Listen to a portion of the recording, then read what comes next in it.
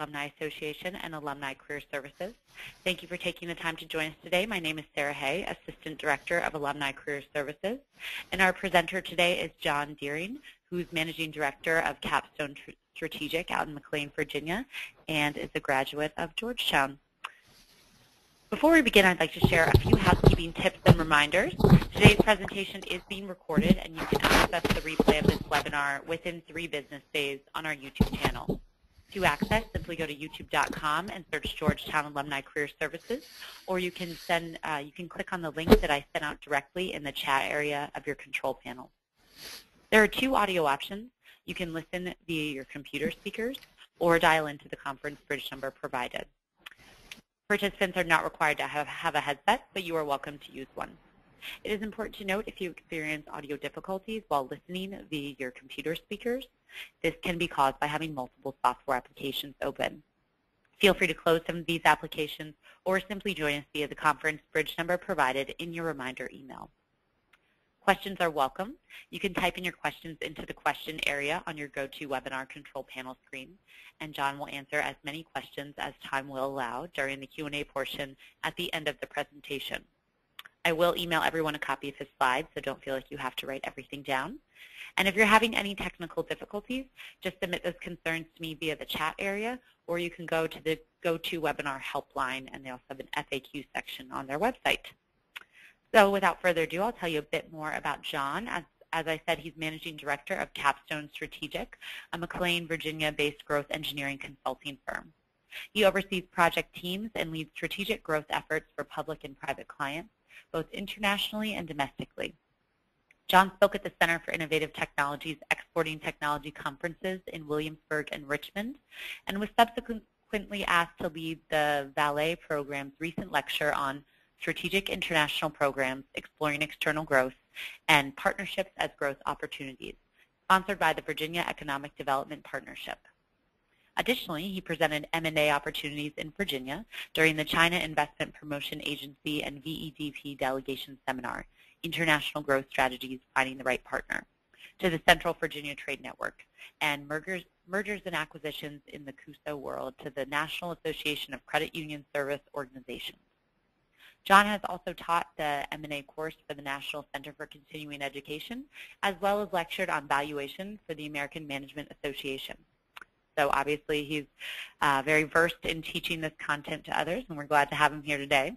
He received his Master of Business Administration from the McDonough School of Business at Georgetown in 1996 and his BS from Bucknell University.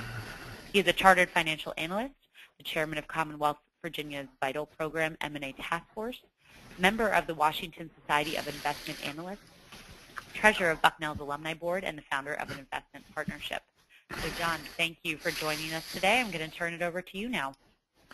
Well, thank you very much, Sarah. I'm delighted to be here. Welcome, everybody. It's a great day here in uh, Northern Virginia, just outside of Washington, and we're excited to have people from all over the United States as well as the globe with us today. And um, I've been looking forward to this webinar for quite some time.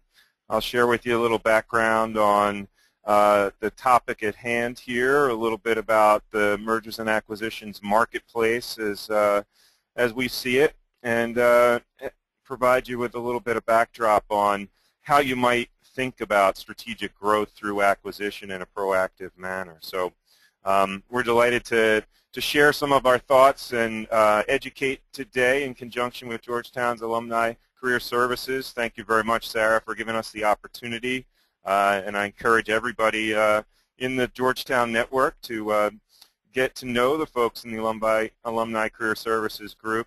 they do a fabulous job and um, been very excited. It's our, our um, budding young friendship. So um, thank you. Um, I just wanted to do a little bit of how we got here.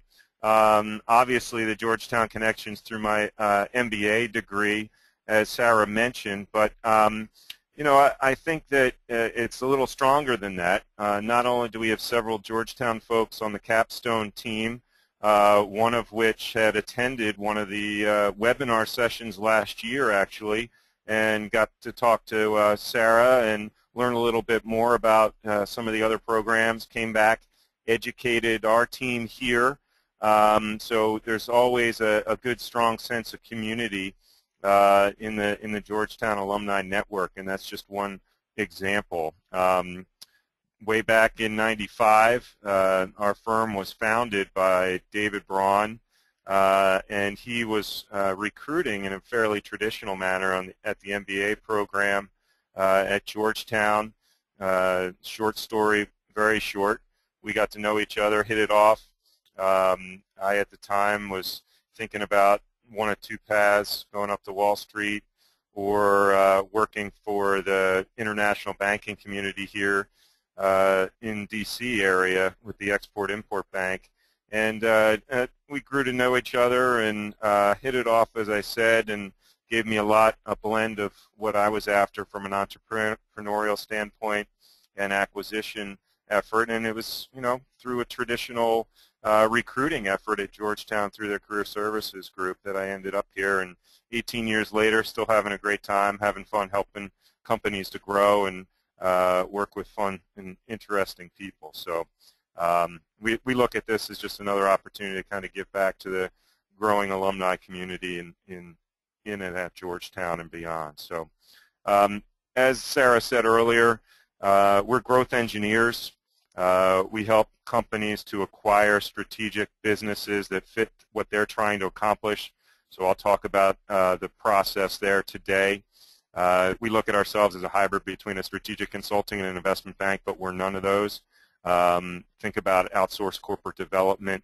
Uh, think about strategy uh, blended with execution and also um, making good, sound business decisions that fit what you're trying to accomplish. So that's what we're all about and how we got here. Um, this is what I'm going to be utilizing as a backstop today for proactive growth through acquisition.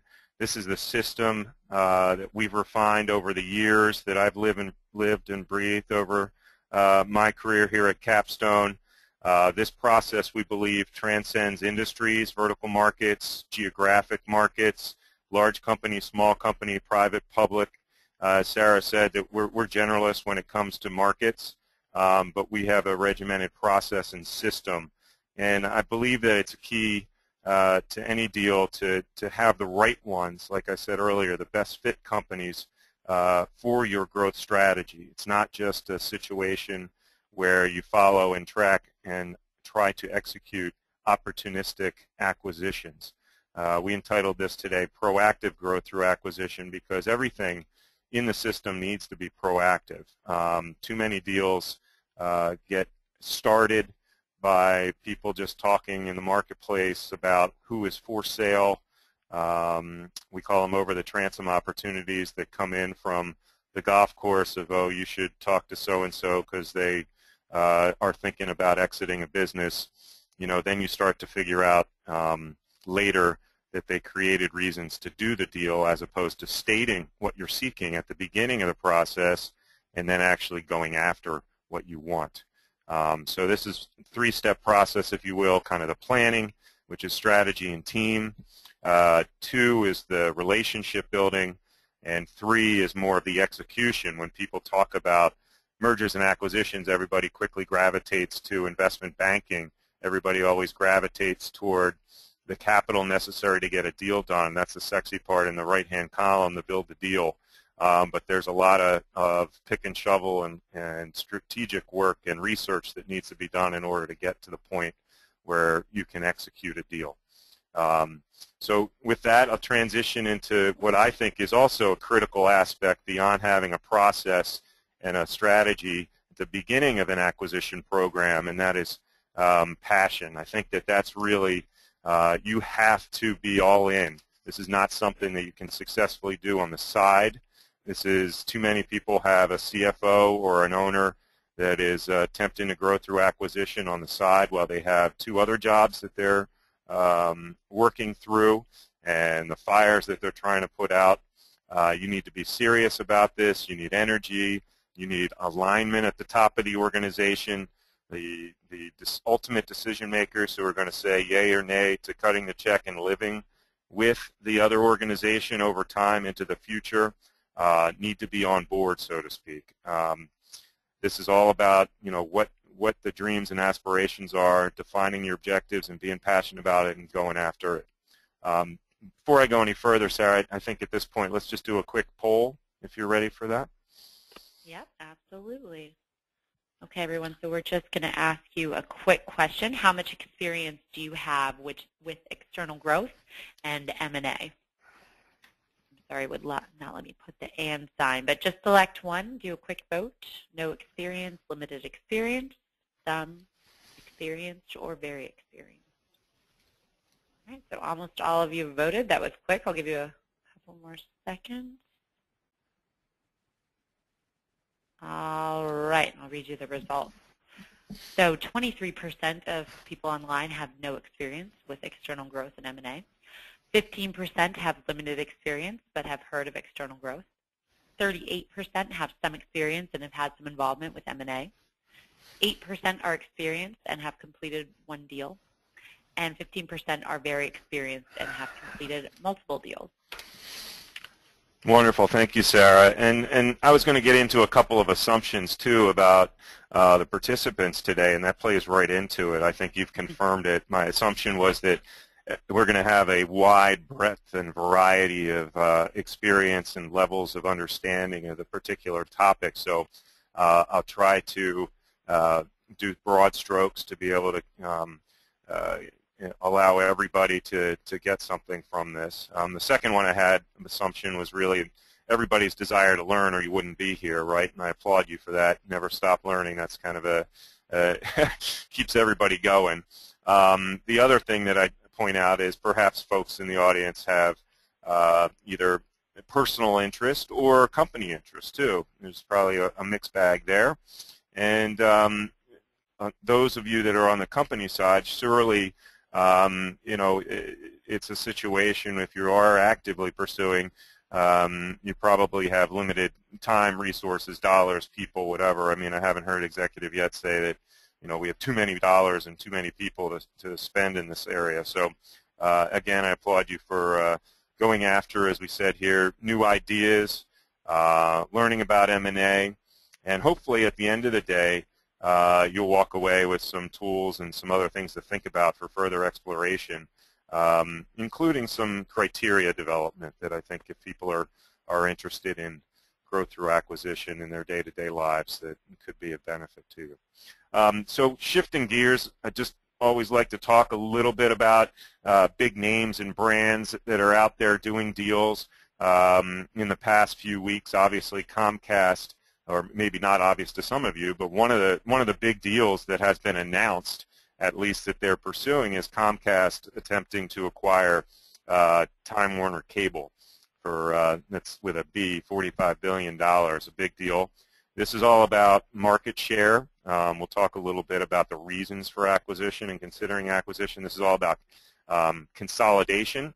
At least that's the first answer um, because they're competitive um, in the same mature pay cable business or maturing, so it's a market share grab uh, opportunity for them.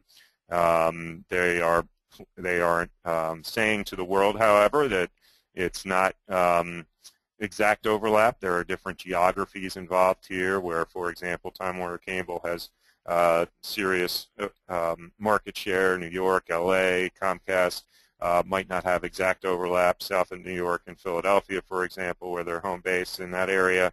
Um, so there's a big uh, debate out there, and there will be continued because various uh, DOJ, to, to name one, needs to approve this because of the market share issues. Um, so lots more to come there. Uh, the other interesting thing that just came out also related to Comcast in the past week was their new formed alliance with Netflix um, which, you know, those of you who follow the uh, the digital world, there's a whole um, thing around net neutrality, which um, uh, I, I, question the timing of the alignment announcement with Comcast and Netflix because that's going to hurt their case, so to speak, uh, moving forward on the Time Warner deal. But um, we shall see. Time will tell. Uh, they are doing the uh, the marketing, if you will, out there to say that it's justified, and there's the other side that's uh, consumer-based uh, folks that are saying this is going to hurt the end consumer because uh, we're moving closer toward a, a, um, serious market share player. the second one, it's got a lot of press recently, is clearly the Facebook WhatsApp um, deal uh, that was just announced. And this is an interesting one um, for a few reasons. One, uh, you know, uh, Zuckerman went after a relationship with the owner of WhatsApp in the public anyway. They're saying that that's been budding for two years. Uh, back to my comment about the one of the key steps before a deal occurs is relationship building. So apparently these two gentlemen had um, really uh, gotten to know each other over the past two years and had a lot of one-on-one dialogues to make sure they're aligned, uh, which we believe is key in, in any deal. Um, and you know this will be interesting. I think WhatsApp, uh, a lot of a lot of press out there that it's not worth as much as Facebook is potentially pay. Um, but the other side of the story is Facebook uh, is looking at new ways to uh, grab younger audience, to go global, to expand their system, so to speak. Um, they did the Instagram deal in the past year to get younger audience. They were turned down by Snapchat. Um, so they're moving and shaking and doing things, and um, it's interesting that they uh, believe that the 350 million users that WhatsApp has today uh, could grow up to a billion users. Um, so those are interesting statistics as well, and an interesting business model. I encourage you guys to to get out there and read uh, some more about it and uh, follow the Wall Street Journal press and etc. Um, so i always like to talk a little bit about what's hot out there deal making wise. Um, now a quick overview about M&A activity. Um, so this is the trend line in dollars spent in M&A in the U.S uh, over the past couple of decades, as you can see, um, two things, I guess, that I'll point out uh, quickly. One is obviously uh, there's a big correlation between the stock market and M&A activity. So you can see the bubble bursting act time frame, 2000, 2001, 2002, uh, ramped back up, um, came back down, and now you see things, it's kind of an interesting environment right now.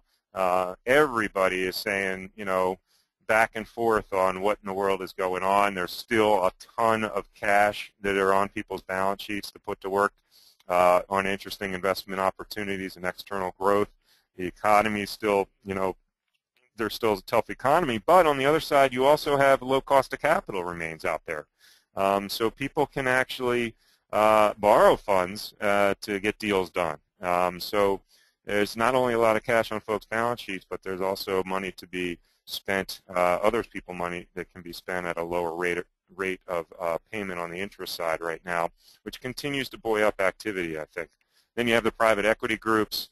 Um, certainly um, a big a big situation with the private equity groups right now. Uh, their activity over the past uh, four years is or five years, sorry, is outlined here quarterly. Um, you can see that the, the point here that I wanted to make is the spike in the fourth quarters, especially over the past couple of years. Clearly tax reasons for that, uh, clearly reporting reasons for that. But private equity is, you know, last year probably about a third of the deal value in the U.S., previous year a little higher than that. Um, but they, they have a lot of money to put to work. They have to put it to work. The institutions that provided the money, they have a certain number of years time frame to put it all to work and return it.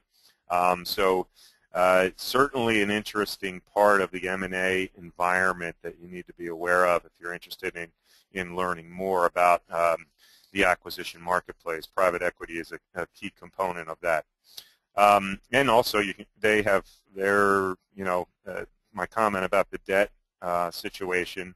Uh, clearly, they're, you know, um, putting more equity to work over time to get deals done when the times were tough on the debt market. Now they have the ability to, to put more debt in there. Uh, so things change in the private equity world as well. Um, we did a quick little, uh, I say quick little, uh, we did a survey, uh, a report that recently came out focused just on the middle market. Um, and we define middle market loosely as you know, companies with revenue or operations or subsidiaries of businesses that are, you know, 10, 25 million at the low end, up to 350, 300, up in that range um, in, in, general. And some interesting things. We, we saw, much like the, the spread of what we, we saw earlier in the poll or heard from Sarah as the results, you know, a lot of people were uh, involved in M&A last year, uh, 46%. Um, but this year, looking forward into 2014, um, 63% say that they were likely to engage in M&A activity. So that's almost a, a 20% increase versus last year in the middle market. Why? A lot of different reasons. Clearly with the, um, the I would say, other than certain targeted segments and niches, growth rates are really, really um, people are looking at in their internal business and saying, you know, my crystal ball is not as rosy as it was before. I got to start looking outside. I got I have to start to find new ways to find growth opportunities, be it by adding new products or services or entering new geographic markets or maybe even taking what I'm really good at and, and bring it into new vertical markets as an example or a handful of examples. So um, in this snapshot, um, it, you know, people are pretty bullish about uh, the near term as far as uh, M&A activity continuing to be a critical part of folks' growth strategies. Um, grow or die. This is this is meant to be um, kind of thought-provoking, if you will, on uh, what in the world if you're sitting back as an executive and saying, or a leader, or anybody on the team, quite frankly, you know, what can we do to grow? Because one thing's one thing's certain in life that uh, growth trajectories are not going to continue forever. Um, take the Facebook example we just talked about. You know, um, very large name, lots and lots of um, folks in the in the world utilizing um, the, the, interesting services that they bring to bear. Advertisers obviously paying them a ton of money, um, and and yet they need to go out and try to define the next chapter of their lives, right, as a business. And that's what this is all about. It's how can we define where in the world you're going to you're going to go and look next because eventually, if you do nothing, your market will wither away. There's no market in the world that is continuous forever at the same rate of return. Um, so this is a constant challenge that people uh, need to think about. And the other side of this is, okay, if I believe that there's the, the what we don't want to do is fade away, um, then the question becomes that of timing right? So then you have to look at your organization and your situation and say, okay, well, is there a good reason why we should be putting off proactively looking at growth measures, proactively looking at doing something beyond adding sales and marketing dollars to expand our current production um, opportunities? Um, is there a good rationale for looking elsewhere? And if yes to all, any or all of those, you know, you're, you've decided not to sit on the sideline. You've decided to get proactive about it. And the way that we think about this with uh, leadership is to look at, as I said earlier, kind of on the foundational side um, first and foremost. So that starts with what are my options for growth, okay? And we look at five different options, okay? Organic, as I just stated, you can decide to put more sales reps out on the street and grow organically. You can decide to modify your brand recognition position in the marketplace to try to convince other folks that don't know about you to come buy your product services or pay you for your capabilities. So that's more of the same. It's just putting your resources toward getting more folks on board with that proposition. The second one is the external. We use external and we use growth engineering because it's more than just 100% acquisition. These can be joint ventures. These structures can be minority investments. External growth can be licensing. External growth can be um, figuring out the right um, strategy to, to co-produce a product with somebody lots of different ways to grow externally, and it's all about finding the right partner, and it's all about defining what you're trying to accomplish and then locating the right partner that brings that to the table. So that's external, lots of different structures. We're agnostic to structures. We don't care. As long as you get what you want, it doesn't matter if you own 100%. Okay? Now the third option for growth, this seems kind of counterintuitive. What we're saying is exit the market. When but think about this. If you have three business lines, one's a high flyer with rocket growth, one is mature and it's a cash cow, and one is kind of declining. Um, and the margins are eroding because as it becomes more of a commodity, um, more more people from um, other places are coming and undercutting you and driving prices down. So maybe in this example, you should be exiting that third business line or that third business in order to reap the value that you can now because the value is going to be less next year and reinvest the dollars toward one of the other two groups and or if you have a third group. So that's the theory here on exiting the market is actually a way to think about growing your business overall.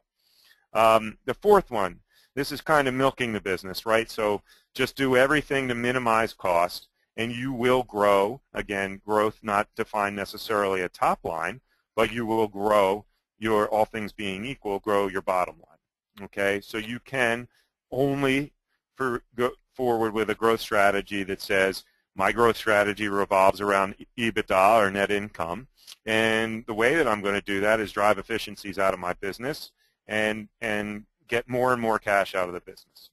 Okay, so that's what we mean by that particular growth option. And the last one we, we affectionately call the jellyfish strategy, um, and that's doing nothing. So you you're not in control of your own destiny. You're a jellyfish. You're floating in there. When the market goes up, you benefit. Market goes down, you're you're going to see the hits, and you don't necessarily do anything about it. So that's more of the you know just float along and and hope for the best uh, situation. We're advocates of, of being proactive, not doing that. Make make real decisions for your business and the future of your business in one of the other buckets, and not not sit back and and relax, so to speak. Um, this next slide talking about degree of control, this plays into what I said earlier. Lots of different options for external growth as you move along. What comes up when I said earlier, it doesn't matter about whether you have 5% or 100% or, or uh, structure doesn't matter. Well, in some cases it does, right? So there's certain limits. If you own 51%, you get to consolidate. Some people want that. Um, reality is degree of control. You can buy 30% of the company and actually control every last thing that goes on there because of the, the partnership or operating agreements. You can document it legally to actually, you know, not let the person that has 70% make the big decisions, as an example. Um, joint ventures and minority interests, uh, you, you, know, our, our, typical advice there when you're actually entering an acquisition situation is, you know, make sure that you embed in their options um, where you can acquire more of the business or buy out the joint ventures, plan for the exit strategy or plan for the increase at day one.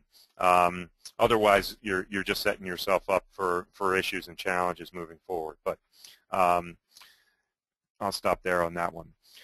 The other thing that I want to talk about on the foundational side of proactive acquisitions is, is really you want to start with a look inside your business, complement it with a look outside. We're not going to get into the various external dynamics. Folks are probably familiar with Michael Porter's analysis, and uh, we're not going to get in the internal analysis around SWOT and things like that. But I, I do want to uh, challenge folks to think a little bit about looking inside before they really pursue this high-risk endeavor of acquisitions. Um, so the first one is about the, the, what we call the strategic audit, and uh, uh, this is one of the tools that some of you may see may resonate with you. Um, so basically, the concept here is just you want to get um, capture, I guess is a better word, capture the thoughts from multiple levels in the organization about the future. And then what happens is you want to facilitate the dialogue around the identified differences because you're, you're striving on a proactive basis to try to address the differences. Okay, I'm not saying you want to live your life around what the problem areas are, but what I'm saying is, you know, if you are figuring out a situation where, yes, there's a group of executives on the team that wants to grow through acquisition, but you know, the shareholders who aren't involved in that or maybe are partially involved in it aren't necessarily aligned with that, um, that could cause problems down the road and you're going to waste a lot of time and resources.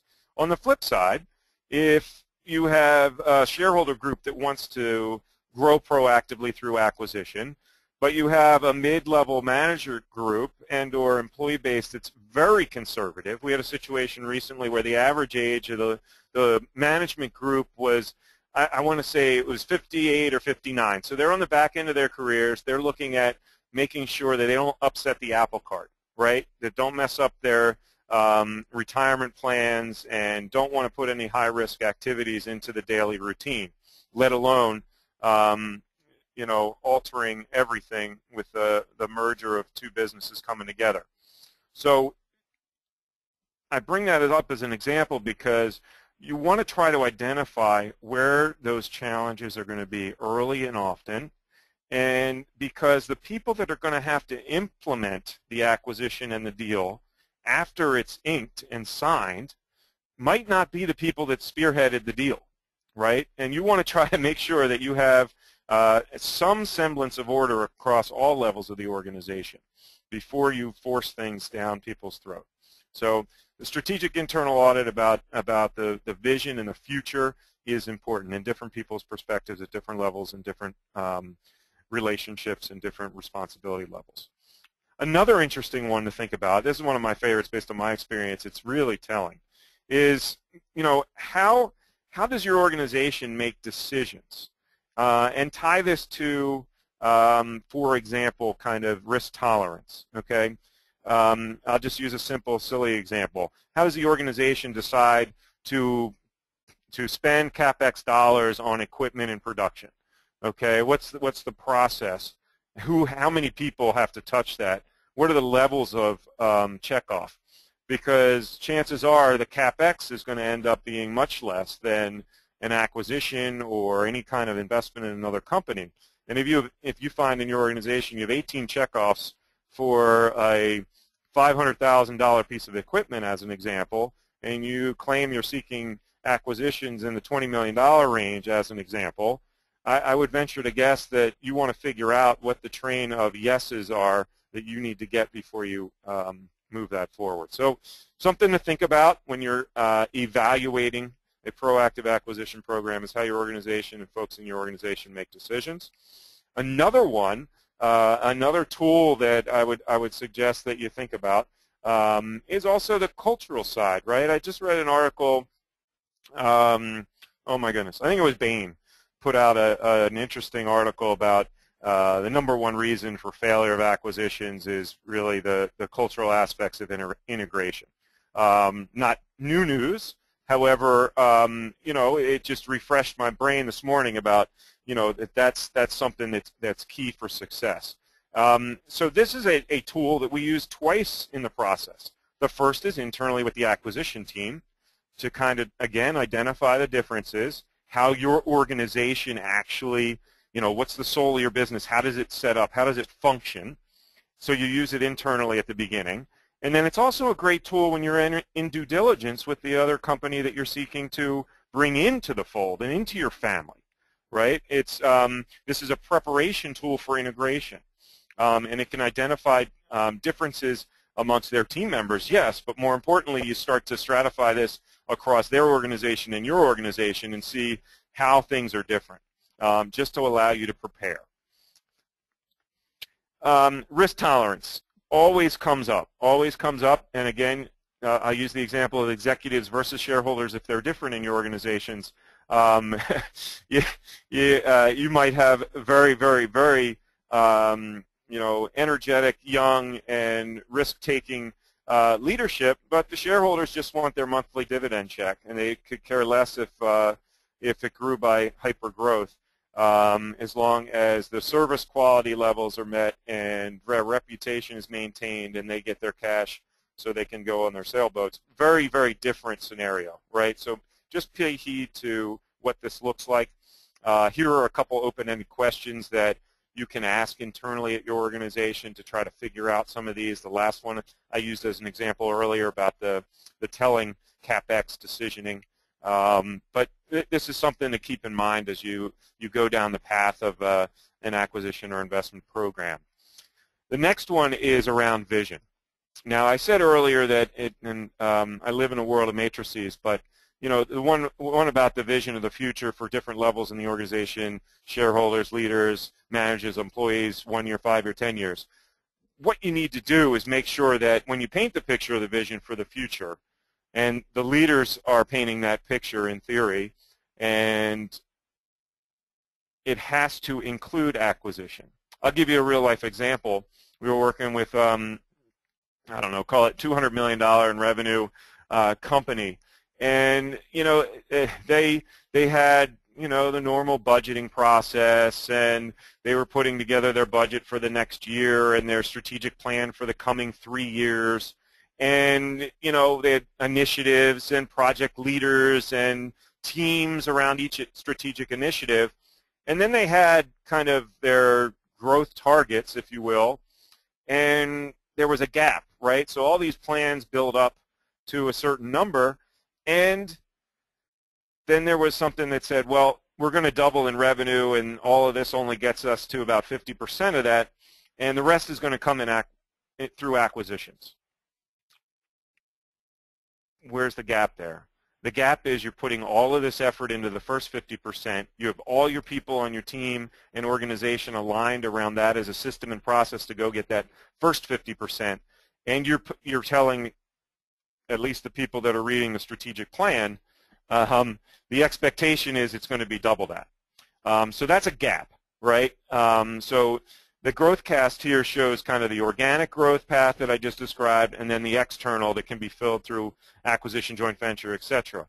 Um, so my challenge to y'all is to think about all the effort that's put in and all the people and resources that are put into the normal budgeting and strategic planning cycle for all of that other growth. Don't you think it it's it's also equally critical to put that kind of thought and effort and an internal challenge to each other to actually put a plan together for the acquisition side. Okay, that that's that's the takeaway here. Is think if you're going to do it, take it seriously, have the passion behind it. Back to back to slide one. One of the fundamental questions that I also think that you need to address at the beginning, so to speak, and not necessarily day one, but at least before you start investing dollars for sure, is why are you acquiring? Thousands of reasons why you could buy another company. Um, and, and, this is quite frankly a, a, way to refine and increase your likelihood of success again. That's another thing that I'll continue to beat the drum on. If you, if you follow a process versus kind of shotgun approach, you have a higher likelihood of being successful. So here are some common reasons that people talk about and you read about in the press every day. Okay, top line growth, first answer on the board, absolutely positioning for the future. Back to my examples about the, the Comcast and um, the Facebook deals. These, these are about positioning for the future. Expanding your customer base, another one in column two that's, that's important. Um, so lots of different things. This is not meant to be exhaustive. These are just things to, to think about. But the key takeaway, the key takeaway is have one reason, okay? Um, this will help you get centered. This will keep you and your teams honest moving forward. When you have real live deals and real live owners and oh by the way emotion will take over as you move forward. There will be situations where you know people on the team on both sides are aligned. But you got to keep benchmarking back against what you were seeking. Why did you even do this from a strategic perspective? And too many times back to my over the transom golf course example, too many times people get deals and then craft the reason on why they should do it, as opposed to defining what they're trying to accomplish and then going after what's going to fill that need. Okay, so here's a quick example. Um, background purposes, privately held business, um, call it you know $30 million in revenue to start with they had a situation, this is a, I don't know, fourth generation company, manufacturer in the U.S., really strong on wanting to keep manufacturing here in the U.S. But they, and they're, uh, for lack of a better phrase, a family holding company. So family uh, has three or four companies that they own. One of those businesses had excess capacity. So the whole thrust of the program was to fill that excess capacity at the plant that they had already, with the people that they had already. They didn't get diverted or sidetracked along the way on what other reasons and why they should be doing other things. Sure, there were a lot of options. There were a lot of opportunities that they could have acquired. But they wanted to make sure that they maintained their, their and maintained and stayed true to the reason. As a result of that, efficiencies in the plant, skyrocketed. The, um, uh, the overhead allocations obviously have been taken care of. The business itself has grown. The people have embraced it. Um, lots of other beneficial things. However, they had one reason that they wanted to make this deal happen. Okay, and you can see the quote there. It was like a grain of salt, a grain of sand that turns into a pearl. You know, it, it's one of those things where if you if you believe and your leadership is behind one particular reason to do it, they will make sure once it's part of your organization that it survives, thrives, grows, etc. Okay, if it's one person uh, who's who's waving the flag, or it's an investment bank that's pitching the deal, you know, they're not going to have to live with it. This has to be with the with the with the leadership, and there's going to be a legacy to that business moving forward. So, just an example. So, I, I, I keep talking about increasing your likelihood of success. For those of you who have lived in M&A, or those of you who have been um, curious about it and done a lot of research in the area, there's there are studies and studies and studies, and all of them are between 60 and 75 percent of acquisitions fail, every last one of them. So a couple of things to keep in mind about that. One, they're using information that's readily available, right, or publicly available. So what is that? That's larger companies. That's publicly public transactions. Um, you may say, what is the definition of success, right, or failure? Um, so in general, across the vast majority of studies, and the normal way that it's talked about, is the return on your investment, right? What was the return on your investment? Um, another way to look at it that a lot of studies talk about is this is what they projected was going to happen with the business. Notice I said projection like projections financial.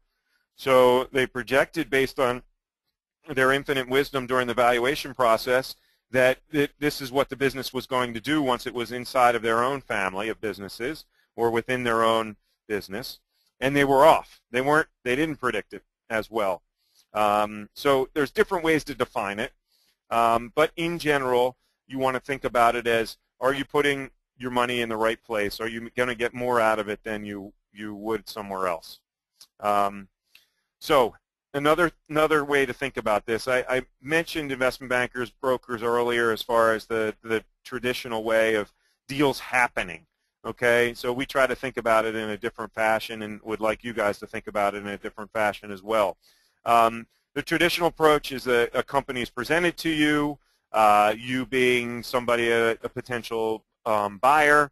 Um, then you do what's called due diligence, right? You make sure that you understand their competitors. You make sure you understand as best you can from the limited information at the beginning anyway, their customer relationships, their growth rates, their the opportunity for growth, their operations, the technical side, the environmental problems, the uh, the, the books and the financials, um, their HR, their challenges with legal, whatever the case may be, you're doing due diligence on that opportunity and determining whether or not it's a good fit and then you buy the company if it makes sense, if you if you believe that the due diligence passed the sniff test, so to speak.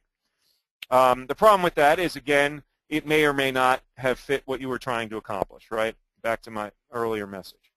So we think about it as kind of change the paradigm here, and, and for those of you who are interested in proactive growth through acquisition, you know, think about the demand side first, okay? So again, after you go through the internal analysis, is, is your organization even ready to, to contemplate doing this? Assume that's yes. Now in your target areas of where you're going to go hunting and you define your sandbox, you want to define kind of the marketplace. Where are the best opportunities for you? They may or may not be in certain areas that you're already playing in. Um, then you want to try to ascertain the customer needs. Is there a fit? Is there overlap with what you're, you're, you're doing today? Um, and only then once you figure out which of those combination of those two columns is going to be the best fit for your organization, then you start to think about companies. Who are all the players that do these things that we're interested in? Um, and that's simply a universe of options, right?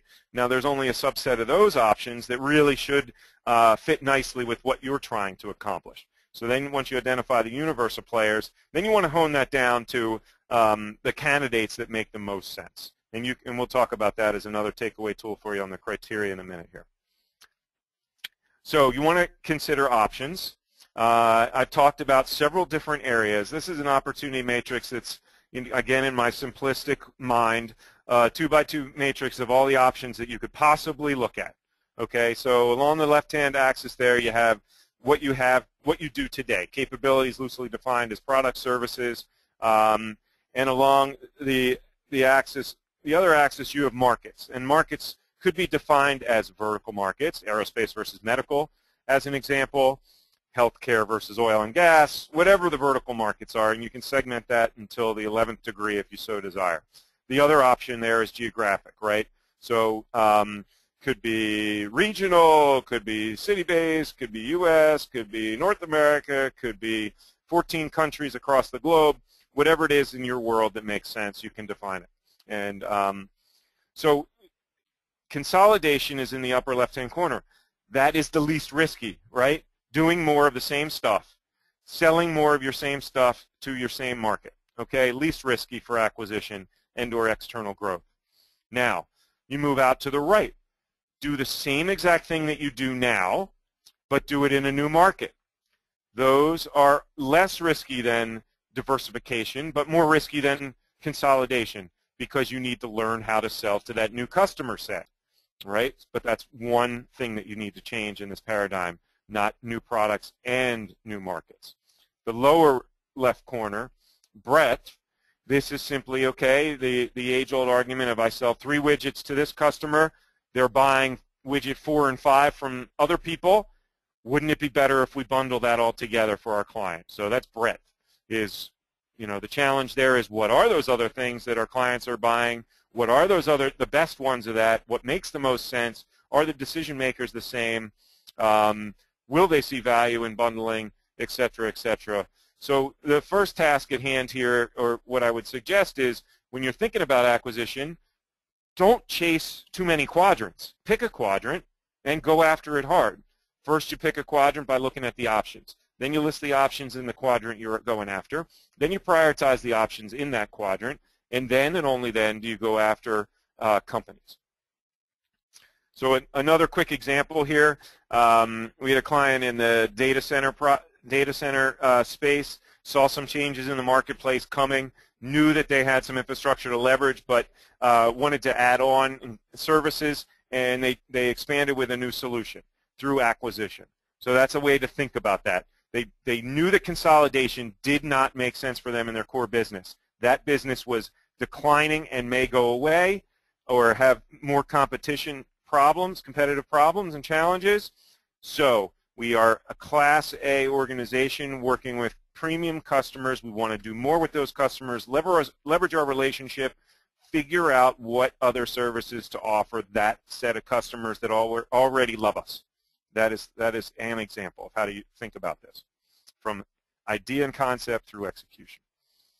Okay, so I, I, quickly ran through kind of how to prioritize. So this, this is a double funnel that we utilize all the time. Those of you who are in sales and marketing and business development are very, very familiar with the funnel concept. It's lots of stuff at the top. Utilize characteristics to whittle down the ones that make the most sense, okay? So we're just advocating to you in the acquisition world that one scenario for you to, to think about is start with markets, segment them, select the best ones, and then and only then look at the companies that are out there to figure out the best ones to go after. Okay, so how in the world do I figure out which prospects are the right ones for me? So this is assuming that you have already selected the segment. You've already selected before that the quadrant. You've already selected your strategy and vision. You already understand that your company is ready for this. Okay? So now we're a few steps forward, and we're about to turn on the relationship side of things. Um, so how do we find them? Criteria development is the answer. Okay? So you want to, as a group, not as an individual, figure out what are the characteristics of an ideal candidate? What are the acquisition candidate criteria that will make one company that you'd look at better than another? Now I'm going to I'm to I'm to inject one statement back to that funnel on the mar on the go back if I can.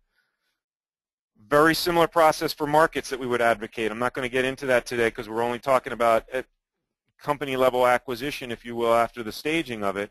But on the markets, you can do the same thing. So those of you who are trying to figure out how to prioritize market opportunities, same story here when we talk about criteria. You want to try to figure out market criteria so you can benchmark one market segment versus another. So identify the characteristics of um, a company that looks good or would look better than another. So you can benchmark companies against each other, and you can benchmark each one against the criteria. That is the, the idea here. Then you want to develop metrics because not every um, every um, uh, criteria is going to be self-evident that there's a metric, right? So easy ones to, to just enlighten you a little bit or, or bring this to life, perhaps. Growth rates is one that always comes up. You know, we don't want a company that's declining in revenue. We don't. We want margins of X. We want, um, you know, a history of profitability that looks like this. These are things that get get tossed around. So you want to use that theory of minimum thresholds of pain, if you will, on what makes a, a candidate look good um, to other characteristics. For example, uh, one to think about is uh, the number of customers. Are, is your business used to and thrives and, and really does really well with a concentrated customer base that you're selling a lot of revenue and a lot of dollars to each year? Or are you better suited um, to service the needs, wants, and desires of clients and customers across a wide breadth and spectrum of customers. So you want 100 customers at 1% as opposed to 5 customers at 5 per, uh, 20% to, to make the example crystal clear. Um, another metric that comes up a lot is experience. You want everybody wants an experience management team if they're going to keep the keep the people on. Um, and you know, so start to think about what that looks like. What does that mean to you when you say, I want an experienced management group or I want an experienced leadership group. Start to think about what the how to quantify that, how to think about that numerically to allow later when you look at multiple candidates, allow you to discern which ones rise to the top. Okay? So metrics are critical. They're not all, the next one is they're not all created equal. So um, products and services, you know, you might have a spectrum of things that you're offering um, and a spectrum of things that you're looking for, but not everyone is, is equal, right? Some of them are going to be more important to you than others for good reason. So start to prioritize and weight each of the characteristics uh, on your list. And in the end, by the way, not everybody in the group who's developing these is going to be super excited because some of their ideas are not going to make the list. In the end, you know, you could come up with a thousand characteristics.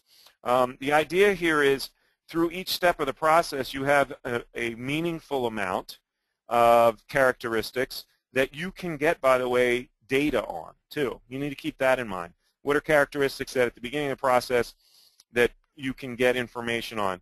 For example, location, size of workforce, or um, uh, technology and IP, you know, things that are readily available um, that you can you can compare and contrast, as opposed to cash flow and EBITDA projections for the next five years. You know, you're not going to get that until you're in formal due diligence after you've signed a letter of intent and or signed a, a confidentiality agreement for um, a for sale deal.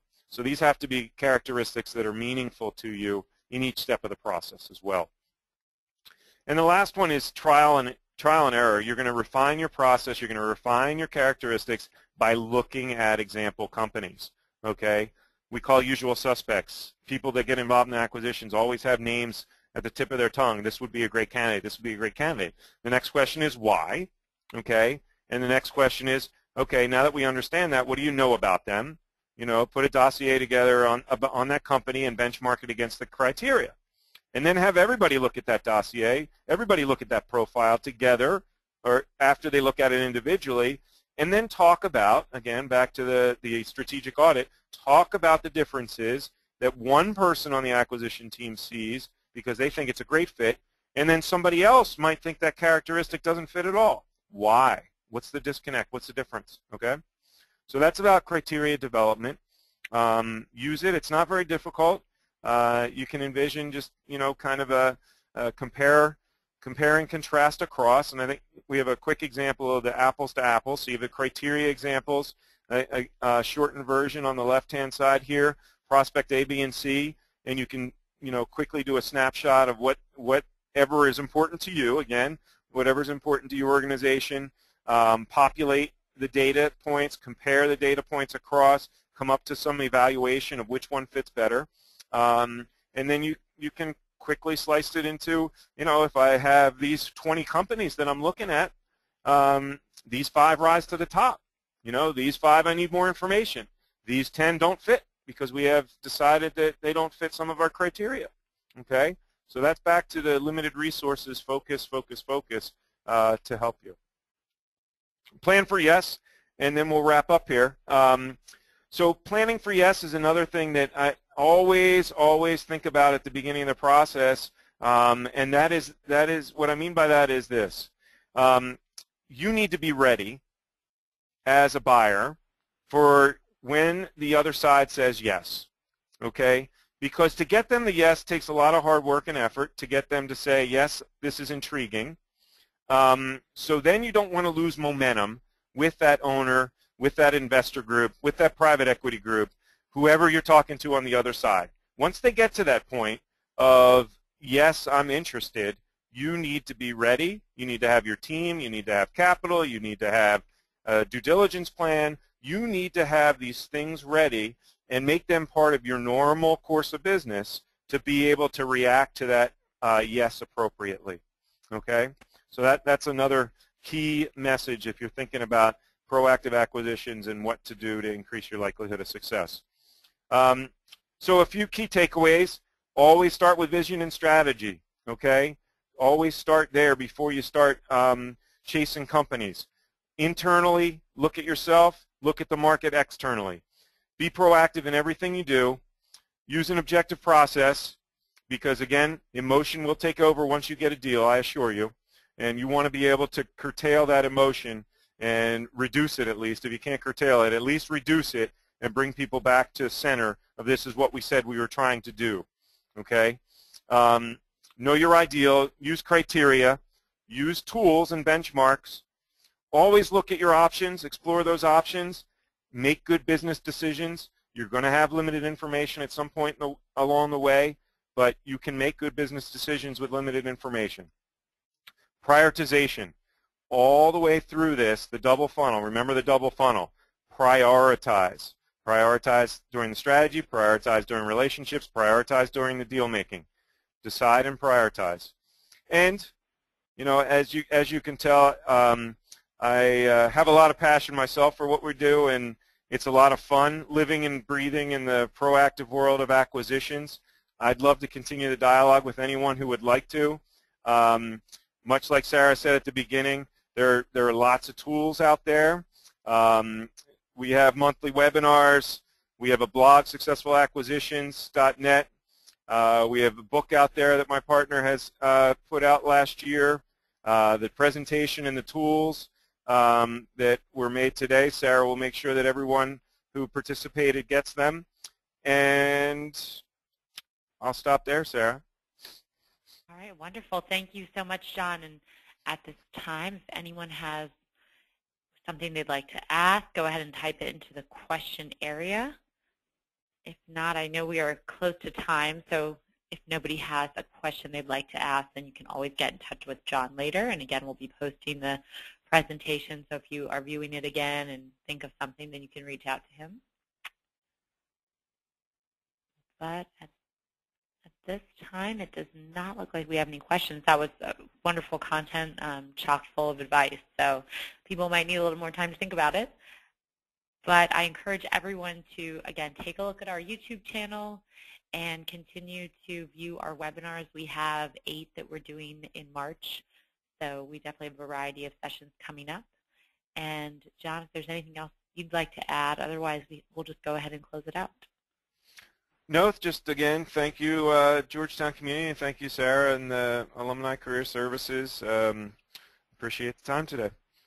All right, wonderful. Well, thank you so much, and everyone have a good rest of the week.